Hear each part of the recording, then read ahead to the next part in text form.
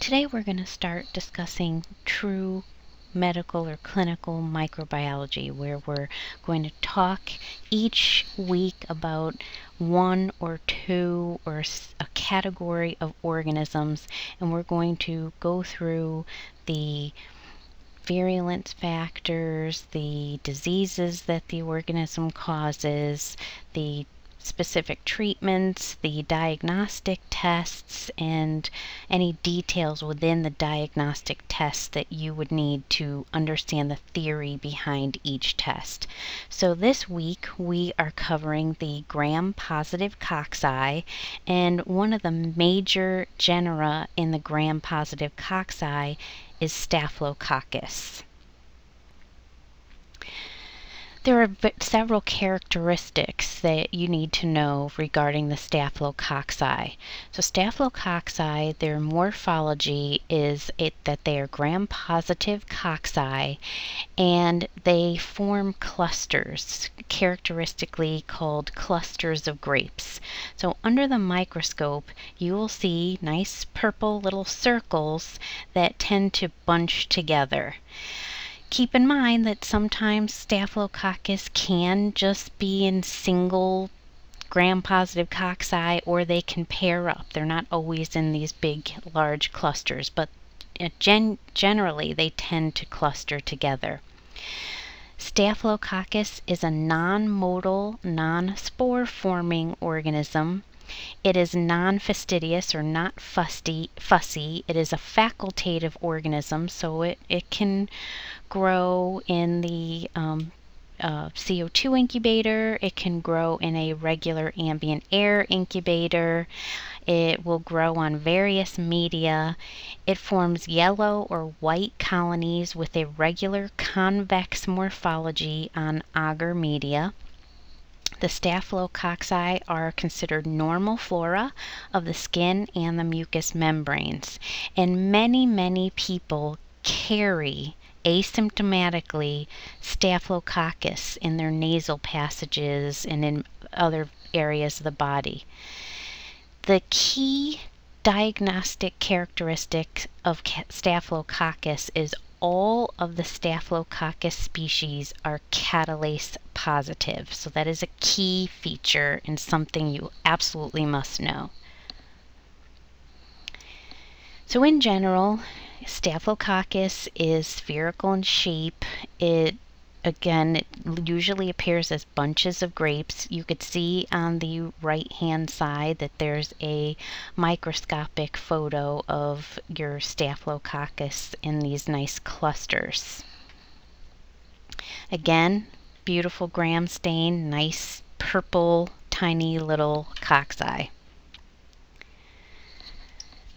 The genus Staphylococcus resembles the Micrococcaceae family members. So the Micrococcaceae family include the genera Planococcus, Micrococcus, and Stomatococcus. There are 35 recognized Staphylococcus species. 14 to 17 of these Staphylococcus species have been associated with humans. However, there's only a few that actually have been associated with causing human disease, and those are the ones we're going to focus on. There are several Staphylococcus species that are associated with animals, so they're considered veterinary pathogens. So all, I already said all Staphylococcus is catalase positive and how you differentiate the species of Staphylococcus, one of the key tests is the coagulase test. We'll talk more about that.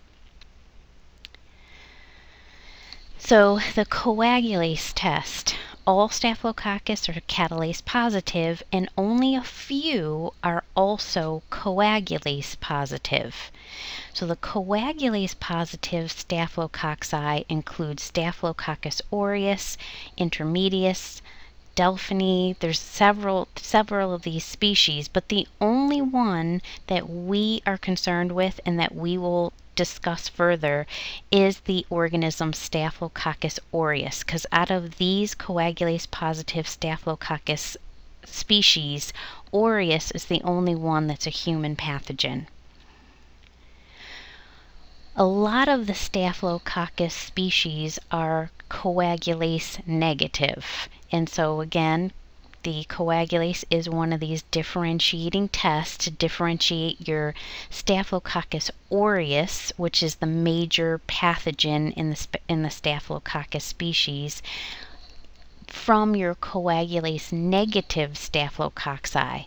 So the coagulase negative staphylococci include Staphylococcus epidermidis, saprophyticus, hemolyticus, simulans, hominis, xylosus. So there are there are many species of coagulase negative staphylococcus. This is medical microbiology or clinical microbiology, so we are only going to focus on the species that actually cause human disease. So the most common species of Staphylococcus that cause human disease are Aureus, Epidermidis, and Saprophyticus. Less commonly associated with disease is Staphylococcus hemolyticus, hominis, and simulans. Again, there are some similar organisms to the Staphylococcus. There's Micrococcus, the genus Micrococcus, and these are free-living saprophytic bacteria. Planococcus and Stomatococcus. Planococcus and Stomatococcus are usually not clinically significant. In other words, they have not commonly been associated with the cause of human disease. The normal or usual transmission of Staphylococcus is person to person. Another common route is self colonization, which means a person is carrying Staphylococcus as normal flora, and then the organism will gain entrance into the body through some sort of trauma or a wound. Also, Staphylococcus can gain entry into the body through surgical procedures.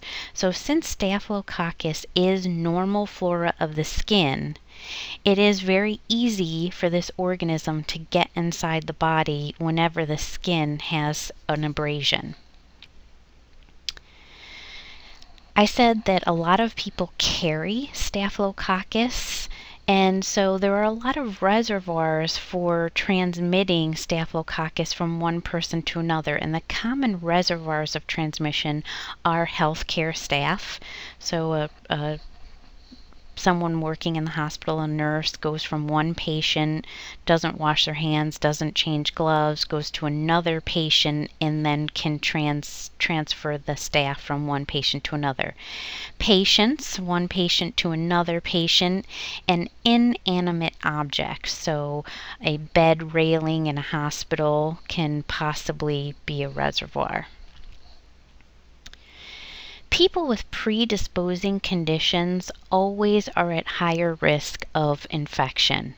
So people with predisposing uh, conditions, such as people that have chronic infections, people with indwelling devices, such as catheters, anyone with a skin injury, um, a trauma patient, a burn patient, and anyone that is defective in their immune response, such as chemotherapy patients.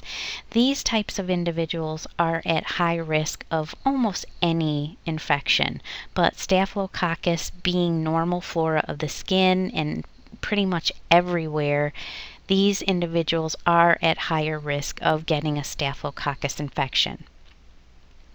We're going to start out with the what I call the heavy hitter. Um, you'll hear me refer to some of the organisms as the big boys, or you know, these are the organisms that are notorious for causing disease. So we're going to start out in Staphylococcus with our heavy hitter Staphylococcus aureus. The characteristics of Staphylococcus aureus are that it is the most virulent Staphylococcus species out of all of these Staphylococcus. It is the only human species that produces catalase. We already said that. That is very important. That must be ingrained in your memory. It is the most common cause of skin infections. It's tolerant to high salt concentrations. That's another distinguishing characteristic of Staphylococcus aureus that will help to differentiate it from other organisms as well as the coagulase negative Staphylococcus species. Another defining characteristic of Staphylococcus aureus is that it's able to ferment mannitol and it also is hemolytic. Staph aureus is found worldwide. It is commonly found in hospitals and nursing homes. It is normal flora in some individuals in the nostrils, on the skin, in the groin area, in the armpits. Um, 30% of the population are persistent Staphylococcus aureus carriers. 20 to 30% of the population are intermittent carriers. So this is very important because you have a lot of people that are in interacting with sick patients, patients in the hospital, and they normally carry Staphylococcus aureus uh, somewhere on their body, and they're perfectly fine. Then you know there's no symptoms, no sickness, but you go and then transfer your staphylococcus that's normal flora on you to a very sick individual, that individual can get a severe, life threatening, possibly fatal Staphylococcus aureus infection. So up to 60% of people do not carry Staphylococcus aureus. Um, it seems, the data seems to indicate that the carrier rate seems to be higher in people within hosp the hospital setting. Staphylococcus aureus is normal flora of the skin and of the intestines, and again, it's very uh, common, commonly found infection in hospitals and nursing homes. I already said Staphylococcus aureus is hemolytic. So most of the Staphylococcus species, especially those that cause human infection, are non-hemolytic. Staphylococcus aureus, however, is a beta hemolytic organism. So when grown on 5% sheep blood agar plate, which as you recall from the very first lecture, is one of the most common general supportive media used in the clinical laboratory. So you'll see on blood or BAP, SBA, sheep blood agar, what they're commonly called in the clinical setting, you'll see a clearing a zone around organisms of Staphylococcus aureus. I mentioned also that Staphylococcus aureus will ferment mannitol, and the other Staphylococcus uh, species generally do not. So there is a special media that can be used called mannitol salt agar. This is an agar that contains mannitol with a pH indicator, so an organism that can ferment mannitol will lower the pH in the medium and turn the agar a color. So the medium is normally pink. If an organism ferments mannitol, it turns a bright yellow color.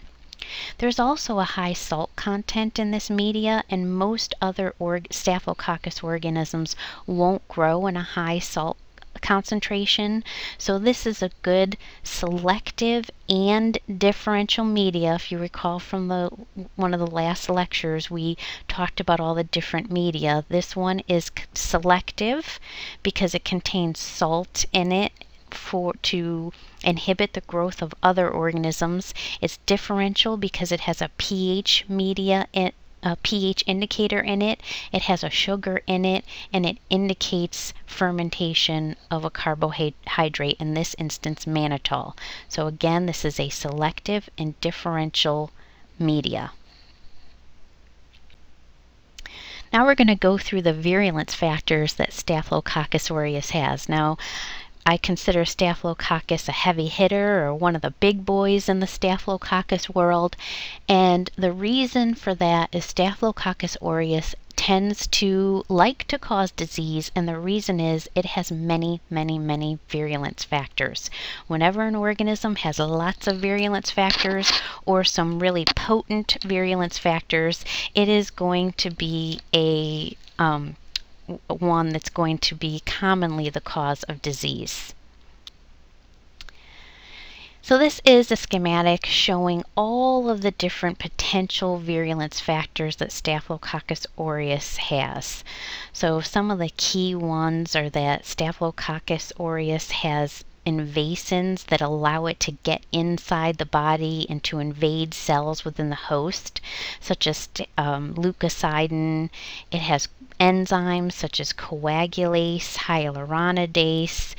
It can produce various toxins, and we will talk more about the toxin related diseases caused by Staphylococcus aureus. So there are different types of virulence factors, anatomical virulence factors, toxin production. We talked about toxin production in one of the first lectures, as well as enzyme production. And Staphylococcus aureus produces all of these types of virulence factors. The anatomical virulence factors produced by Staphylococcus aureus in its cell wall, it has teichoic acid. It's a gram-positive organism, so it has teichoic acid. It does not have LPS, or lipopolysaccharide, or endotoxin, like we talked about in the previous lecture. Teichoic acid does mediate adherence to host cells. It also has a protein A coating on its surface, which will inhibit phagocytosis, similar to what a capsule does, like we talked about in the la last lecture, where organisms that have this coating will not allow phagocytes in the host um, body to come in and gobble up that organism and kill it. Staphylococcus aureus also produces many toxins. It produces alpha toxin, which will hemolyze red blood cells, and that's what gives it its hemolytic reaction on sheep blood agar plates. It produces leukocidin, which is also called PVL for Panton Valentine leukocidin. This will kill phagocytic cells so that again it can't be gobbled up by those phagocytes. It produces an enterotoxin, entero meaning enteric or intestinal, which will stimulate vomiting and actually and also diarrhea in the host. It can produce exfoliatins, which will cause the loss of the epidermis of the skin. And one of the more potent toxins is TSST1, which stands for Toxic shock syndrome toxin 1, which induces a very severe inflammatory reaction. So the hemolysins that hemolyze red blood cells, there's alpha, beta, gamma, and delta hemolysins. There's that leukocidin, Panton-Valentine leukocidin, and the enterotoxins. The enterotoxins are what causes food poisoning. There is a type of food poisoning that is caused by Staphylococcus aureus. So the AD enterotoxins cause food poisoning. The F toxin causes a toxic shock like syndrome, and the B toxin causes pseudomembranous enterocolitis, which is a severe inflammatory reaction in the intestines. Also, Staph aureus produces exfoliatin, which we already mentioned will cause the loss of the um, epidermis skin layer. It causes staphylococcal scalded skin syndrome, which is a disease that causes the skin to just slough off an individual or also Ritter's disease. And again, it causes it produces toxic shock syndrome toxin number uh, one, which causes the disease toxic shock syndrome, which is a multi-system disease that causes high fever, low blood uh, pressure, it can lead to shock and death. Staph aureus has the ability to produce many, many enzymes, such as hyaluronidase, which allows the organism to get into the body and through the connective tissue. It, it produces staphylokinase, coagulase, lipase, and also penicillinase that confers resistance to penicillin. Coagulase, one of the key enzymes that Staphylococcus aureus produces, and one of the key ways to differentiate the Staphylococcus aureus species from the other non coagulase producing Staphylococcus species. There are two forms of coagulase the free and the bound forms. So free coagulase causes coagulation. So your typical coagulation reaction in your um, whole blood. Catalase uh, catalyzes the conversion of water to I mean, sorry, of hydrogen peroxide to water and oxygen. So it allows the organism to resist some phagocytic pro products. Um, phagocytes tend to induce oxidative products and uh, the catalase will convert things like hydrogen peroxide that are produced by a macrophage and turn them into more innocuous products like water and oxygen. Hyaluronidase is an enzyme that's known as the spreading factor, and this will allow the organism to spread into the body and really invade into the tissues. And again, penicillinase is an enzyme that destroys penicillin, leading Staphylococcus aureus to be resistant to penicillin.